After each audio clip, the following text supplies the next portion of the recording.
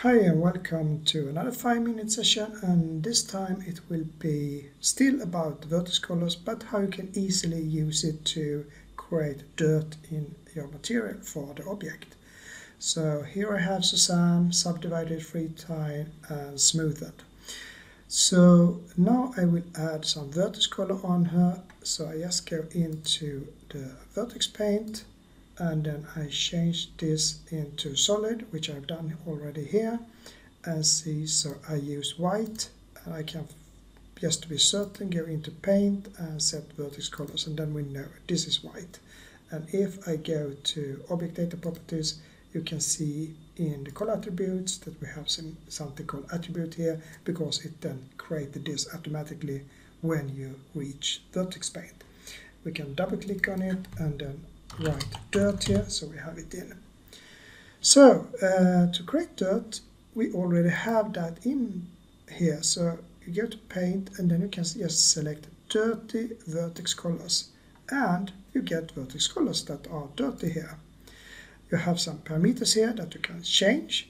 However, if you change these, it can be so that it just paints more and more dirt on your object each time. So in that case, you change whatever you want, then you go to paint, set vertex color to white again, and then you do dirty vertex colors, and it will then remember the changes you do here, so you get it in.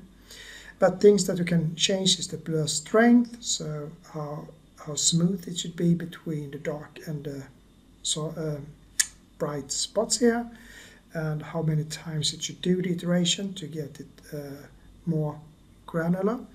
And when it should be like white and when it should be black. But in normal circumstances this work works fine as it is. And you can decide if it should be just dirt. Now it's just now it's just uh, dirt and also some ambient occlusion in this. So we have like a combination and if it should be normalized, meaning it goes from 0 to 1 or not. So those you can change if you want to, but I am satisfied with what I have here, so now I will use that in my material.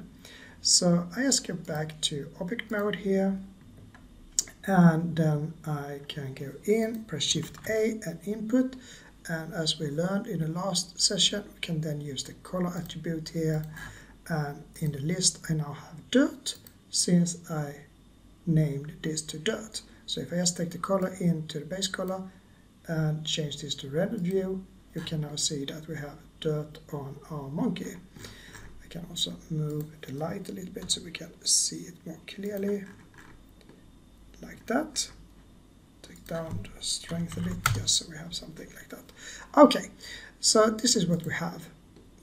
But if you want some more colors, perhaps some noise in it, then you can do a little bit more than this. You can add a mix color, for instance. So press Shift A, go to color, and I select the mix color. And then I can use the color in the color attribute into the factor here, and I can put the result to the base color. And in the top, since the, the dirt is the darker thing, it will be the top here. Then I can add some uh, color for my dirt. So something like this, some brownish, and then I get it in. And if I want it to be uh, not so soft, more random, then I just add a noise into this as well. So I can press Shift A, and then I can select texture, uh, noise texture, and add a multiplication here to decrease this value a bit. So Shift A, and then uh, go to converter, math, put in multiply that I take the factor and okay, take this really small, so 0.04 or something, and then I just add that into the color here. So shift uh, shift D to copy, and then uh, add or subtract. I can use subtract, and I can take it in here. And if I then increase this a bit with detail, roughness, and so on, and perhaps also increase the part here, then you can see now that we get some random including the base for the dirt. so it looks more natural or real, so to say. So that is how you can combine stuff. So now you know a little bit how you use vertex colors to create dirt. It was really easy and I will continue with even more vertex colors but that will take tomorrow. So yes, say bye for now and see you tomorrow.